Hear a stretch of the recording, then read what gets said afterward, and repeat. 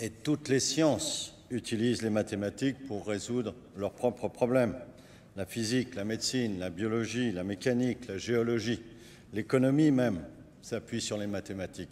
Je vais vous lire une définition de Tolstoï qui dit L'homme est une fraction dont le numérateur est sa valeur réelle et le dénominateur l'idée qu'il se fait de lui-même. Le numérateur reste le même, c'est-à-dire la valeur de l'homme. D'accord? Donc c'est pourquoi plus grand est le dénominateur, c'est-à-dire la valeur réelle de l'homme, plus petite est la fraction, c'est-à-dire l'homme. Voilà, merci.